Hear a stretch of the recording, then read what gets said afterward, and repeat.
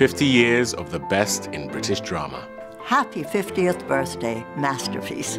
Happy 50th anniversary. Congratulations, Masterpiece. Happy anniversary to everyone at Masterpiece. Happy 50th birthday, Masterpiece. Happy birthday. Happy 50 years, Masterpiece. And here's to many more. Masterpiece obviously has exquisitely good taste. That's the thing.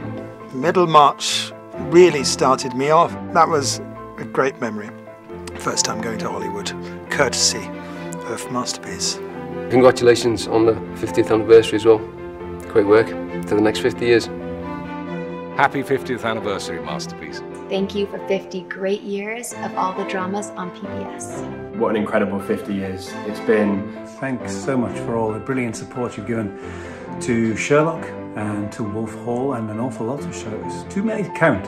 What a thrill to be at the same home as some fantastic television programmes over the decades. Uh, Prime Suspect, Morse, uh, one of my favourite all-time television programmes, Upstairs, Downstairs. We all had a home with Masterpiece. I've got very fond memories of, yeah, each and every one.